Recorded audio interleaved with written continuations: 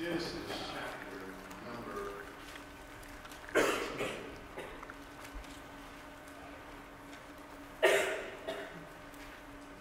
We're going to start our reading around verse number 17. Genesis chapter 14. We're reading verse number 17.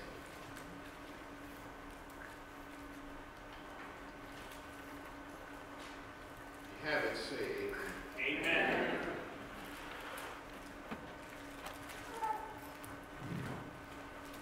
And the king of Sodom went out to meet him after his return from the slaughter of Chedorlaomer and of the kings that were with him at the valley of Shaveh, which is the king's dead. And Melchizedek, king of Salem, brought forth bread and wine and he was the priest of the Most High God. And he blessed him and said, Blessed be Abraham of the Most High God, possessor of heaven and earth. And he blessed the Most High God, which hath delivered thine enemies into thine hand. And he gave him tithes all.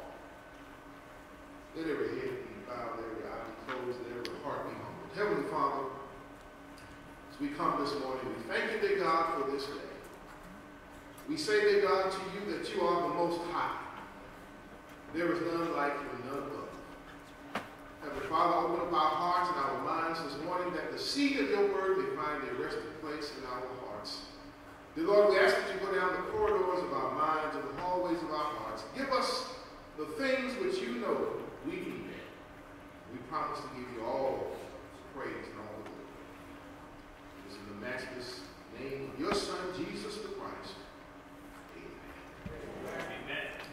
Brothers and sisters, chapter 7 is a critical section because it concerns the introduction of a better priesthood. Amen. Hebrews chapter 7 shows us that no sacrifices were possible without a priest. Therefore, no forgiveness. Therefore, the priesthood was greatly revered by the Jews.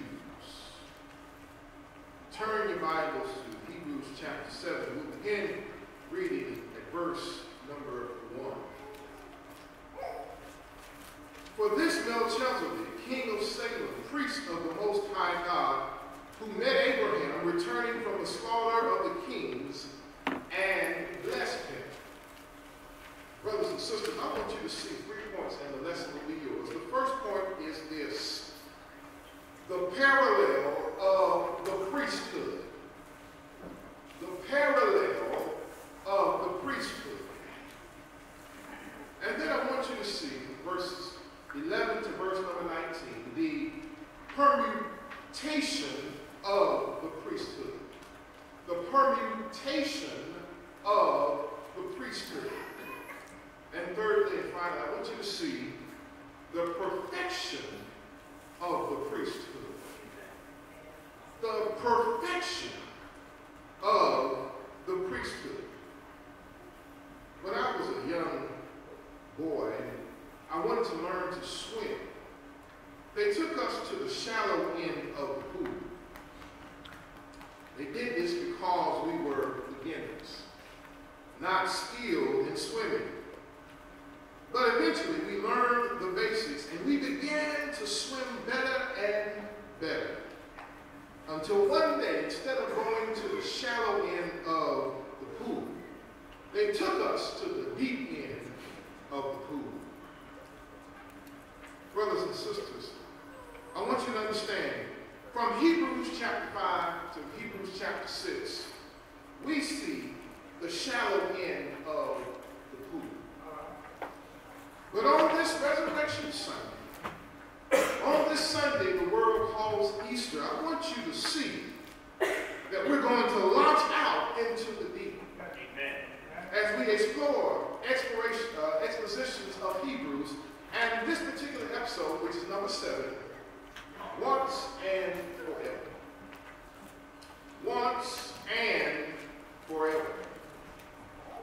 When we read Genesis chapter 14, verses 17 through 20, we first saw a character by the name of Melchizedek Bible does not give us a great deal of information about his lineage. As a matter of fact, the Bible goes on to say verse 2 of Hebrews chapter 7, to whom also Abraham gave a tenth part or a tithe uh, to him. The Bible says that this man was so great that even Father Abraham gave a tithe to this man by the name of Melchizedek. Melchizedek, the Bible says he was the king of Salem. Word Salem is a transliterated word from the original Hebrew, which is shalom or peace. Bible says interpreted as peace. And so Melchizedek is the king and he is the priest. He is typifying another king and another priest. I find it ironic that when you look at Genesis chapter 14 and verse number 18, the Bible says that Melchizedek met Abraham and gave him bread and wine. Amen. Don't miss the point. Amen. Just a few moments ago, we gathered around the table and the emblems which were used were representative of the bread and wine that Jesus broke with his disciples. Amen. All of these parallels are not coincidental. They are intentional. And so we find that from verses 1 through verse 3, the Bible says this king by the name of Melchizedek does not have a lineage. He does not have beginning of days or end of days. The Bible says that he has no record of mother or father. But he is like, the Bible says, unto the Son of God. And he abideth, or he remains, a king and a priest forever. Amen. Bible goes on to say, verse 4, Now consider how great this man must have been. Brothers and sisters, I want you to see that the Hebrew writer, whoever he may be or whoever she may be, the Hebrew writer shows us that this man, Melchizedek, was a great man. He was a great man because Abraham gave a tithe or tenth part of the spoils. I want you to know something by way of practical use that the word tithe here is a word that literally means top of the heap. It can be also translated uh, the tenth part. And so when you see what, what uh, Melchizedek received from Abraham, he received the top of the heap. Now that just, that's just food for thought. I want you to take that in. do what you will with it.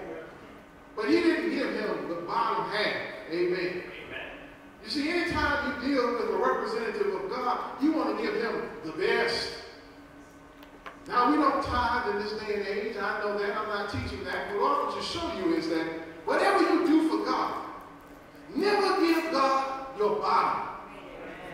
Whatever you do for God, do your best because God gave his best. Amen.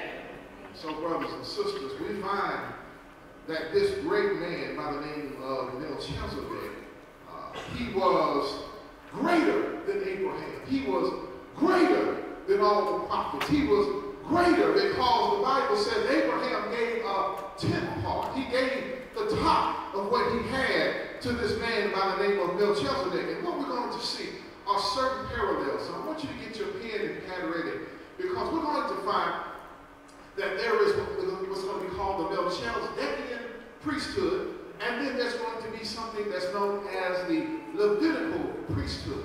The Melchizedekian or Melchizedek priesthood, and then on the other part of the ledger, you're going to see the Levitical priesthood. These are going to be two priesthoods Uh, that are going to be compared in this chapter. And if you don't understand the comparison and contrast, then you're going to totally miss the lesson. Amen. It's a simple lesson. but it goes in and out between the two. The Bible goes on to say in verse number 5, And verily they that are of the sons of Levi, who receive the office of the priesthood, have a commandment to take tithes of the people according, underline this phrase, to the law. That is, of their brethren, though they come out of the loins of Abraham. Interesting. Abraham is the father of Levi. But Abraham is not just the father of Levi, he is the father of 11 other sons. Or actually, he is the grandfather of 11 other sons because his son, by the name of Jacob, had 12 sons. And Jacob's name was changed from Jacob to Israel. And when Israel had children, God said in Numbers chapter 17 that one of the tribes was going to superintend the, the tabernacle and or the temple. When you read Numbers chapter 17, what you will find there is that out of all the 12 tribes of Israel, there was one tribe, the tribe of Levi, that put their rod in the tabernacle, and the Bible records it as blossoming. And so even during the time of Christ, they had the rod that blossom in the Holy of Holies. That lets them know that the Levitical priesthood was the only tribe that was authorized to take God's people's sins and come before God to get them forgiven. Now, I want you to understand why is that important? Because as we read, we're going to see whether or not we are, if we are still under that covenant. Because if we are under that covenant, as some of my Jewish friends and some of my black Hebrew Israelite friends believe, then that means that you are under an old covenant that will not bring you salvation. Now, if you are still under the covenant, if you're still under the law, the law says 613 things to be found righteous in God's eyes. I don't want you to miss that part. Because there are some today that will tell you you got to keep the law. There are many who are in our communities that will say the law never ended. But I want you to see the Hebrew writer is writing to Jews who have become Christians. They're Jewish ethnically, but they are Christians spiritually. And they were thinking about going back to the old law. But our Lord says, don't do it.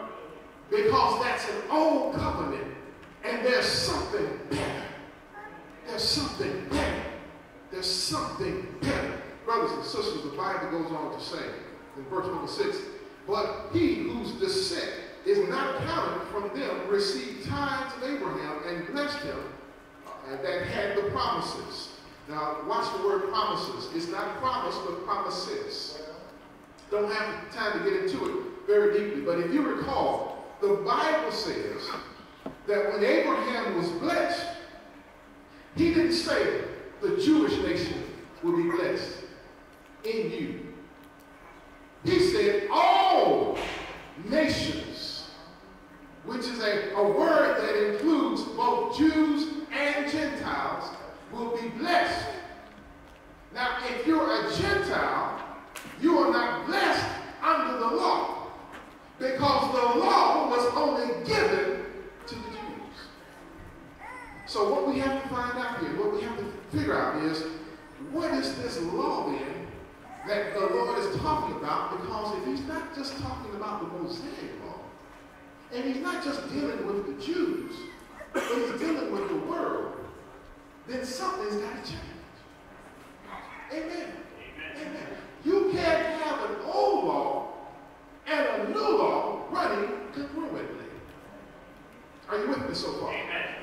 I'm, I'm trying to make this simple because somebody here is going to leave here and think that we are still under the law and they're not going to be be saved. But thank God this Resurrection Sunday, you can be saved.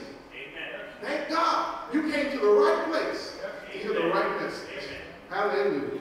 The Bible goes on to say, brothers and sisters, he says in verse number seven, and without contradiction, the less, referring to Abraham, is blessed by the better. Now, if you work for a living, you realize that in a, in a employer-employee context or situation, when you go to your job tomorrow morning at 8 o'clock that you hate, that you're going to have to fight traffic to get to, you are the employer. You are the one that applied for that job. You're the one that agreed to the terms. And now you have to fulfill the terms. You are what's called an employer, or employee. Now the employer is the one that has the ability to tell you what to do. Am I right about it? Amen. Amen. And so what we're going to find here is that from that context, one is greater than the other. What the Lord is showing us then is that Abraham was the employee. Amen. Melchizedek was the employer. Abraham didn't bless Melchizedek. Melchizedek blessed Abraham. Amen. The lesser was blessed by the greater. And so what the Bible is trying to show us, brothers and sisters, is he says, and here men that die receive tithes. Verse 8. But there he receiveth them of whom it was the witness that he liveth. Verse 9. And as I may so say, Levi also received tithes, paid tithes in Abraham. This is where it gets sort of convoluted, but I want you to understand what the Hebrew writer is trying to show you. The Levitical priesthood received tithes from the 11 of the tribes. Write this down. I'm not going to go there. Malachi chapter 3. Beginning around verse number 8 all the way through verse 12, the Bible says, well, a man around God, he says, they said, how can we, how have we robbed you? He says, invoke tithes and offerings. If you look at that phrase of the Hebrew, the word tithes means a tenth. But the word offerings is what they call a tenth of the tenth. You'll find that in the book of Numbers. And so what we're finding here is that when the 11 tribes of Israel gave to the Levites, the Levites then gave to the priests. That was called the tithes of the tithes. But because the 11 didn't give to the Levites and the Levites couldn't give to the, to the priests, the Bible says you have robbed me. God doesn't need our possessions, though he demands them.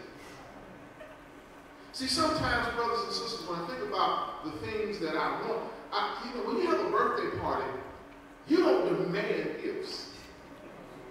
Amen. I don't know, they may do today. I don't know. But when I was growing up, you don't demand gifts, but you expect gifts. Amen. The Lord says, because I blessed you, you need to turn around and bless me. The greater blessing the lesser. But in this scenario, I want you to see Melchizedek is representational of another person. Melchizedek is representing or typifying Jesus. Jesus, therefore, is greater than Abraham. Aaron is the grandson, or he's the grandson, or I should say, he is under the lineage of Levi, who is the grandson of Abraham. So if you follow the line, you will find that Abraham had Jacob, and Jacob, whose name was Israel, had uh, 12 sons, one of which was named Levi. Levi began what we call the Levitical priesthood. Because Aaron, who was one of his progenitors, he, he began what's called the Aaronic priesthood, which can also be referred to as the Levitical priesthood, which meant that everybody who wanted to be a high priest had to be a direct descendant of Aaron. And so when a direct descendant of Aaron took over the high priest role, he was due the, the tithes because the law demanded the tithe. But the Bible is now showing us that there is one greater than Levi, one greater than Aaron, one greater than Abraham, and he is Melchizedek. Melchizedek, remember, is a representation of Jesus. So if Jesus is greater than Abraham, And by, by virtue of default means that he is greater than Aaron, he's greater than Levi, and he's greater than Abraham. And so there is no need to go back to something that is old. Because God will say in just a moment, I got something better. Better. Just remember that. If you don't remember anything else, say better. Better. Verse number 9 says, And as I may say, Levi also, who received tithes, paid tithes to Abraham. Verse 10 says, For he was yet in the what? In the loins of his father when Melchizedek met him. Now, brothers and sisters, I want you to see the parallel of the priesthood. I want everybody to see that, that there is a parallel between these two priesthoods, between what we call the priesthood of Jesus Christ and the priesthood of Aaron or Levi. Now that we understand the parallel of the priesthood, I want you to see the permutation of the priesthood. The permutation of the priesthood. Now, when you say the word permutation, it's just a $20 word that means change.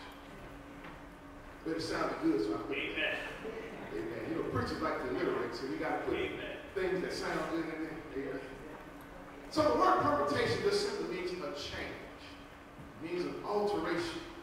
So there is an alteration in the priesthood. Beginning in verse number 11, the Bible says, If therefore, underline this phrase, if therefore perfection, underline that word perfection. We're going to deal with that in just a second. If perfection were by the Levitical priesthood, for under it the people received the law, what further need was there that another priest should rise after the order of Melchizedek and not be called after the order of Abraham? He's putting in what we would call a rhetorical question. He's basically saying to the audience, if everything was fine under the Levitical priesthood, which represents the law of the Mosaic law, why then did God change? Anybody can answer that question? Don't say it out loud, but think about it in your mind. If God said everything is fine under the old law, why then do we have to change to a new law? If you're a black Hebrew Israelite and you walk around in what we call this Israelite garb, I guess, with all your, sticks and your, and your maps and all that good stuff, God bless you. But what salvation is in that? If God says there's a change in the priesthood. Amen. You know, it's almost like you were driving around with a license that, that you got that in 2003 and it expired in 2014. And you got pulled over by a police officer he said, let me see your license. And you hand him your license. He looks at your license carefully. He says, this license has expired.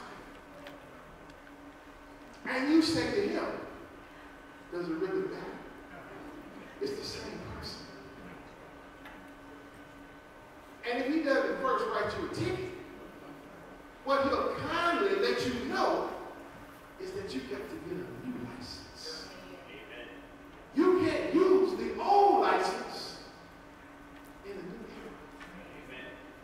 And what I'm trying to tell somebody this morning is, you can't take the old law and bring it over into the new year. Amen. Jesus says, by way of the Hebrew writer, he says, when you receive a new law, you receive a new priest. Verse 12, for the priesthood being changed, underline that phrase, the priesthood being changed That's your first clue. I'm going to read from the New American Standard if you don't mind. He says, For when the priesthood changed of necessity, there takes place a change of the law also. Hallelujah. Amen. Aren't you glad the Lord let do what he did back then? Amen. Some of us would be stuck with that before we came this morning. Amen. Some of us would be run out of town if we were still under the old law. Some of us would be broke from buying turtle doves ewe lambs. Amen. Somebody. Amen. Amen. We would be so tired because every time we turn around, we sin. Every time we turn around, we're making a trip to the temple because we have to give a, a, a sacrifice for our sins. But the Lord says, aren't you glad there's a new law? Now, now, now here's the caveat. New law doesn't mean do what you want to do. That was another argument. Well, if we're not under the law, that means we're uh, antinomians. That means without law, against law. Paul and the other writers said, no, it's not that. It's just that we are under a different law. You see, even before the old law, or the Mosaic law, the Mosaic law, there was something called uh, uncodified law. How do you know that, preacher? Well, if you look at the book of Genesis, the Bible says when Cain killed Abel, Bible, the Lord says, where's your brother? Cain. Cain got smart with God and says, am I my brother's keeper? The Lord says, but his blood is crying from the ground. I've always wondered, why did God ask questions he already knew? But God will ask you a question today. And he already knows your answer. But it's because he wants you to reflect on your answer. Because when you leave this earth, when you say your last goodbyes, when you take your last breath, the Lord will stand before you and he will ask you a question.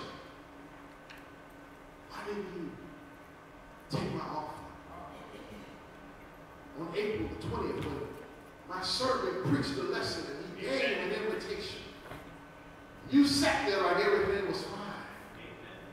Your beautiful Easter dress and your wonderful Easter hat and your handsome Easter suit with your wonderful platitudes. I'm blessed and highly favored. I, I love the Lord.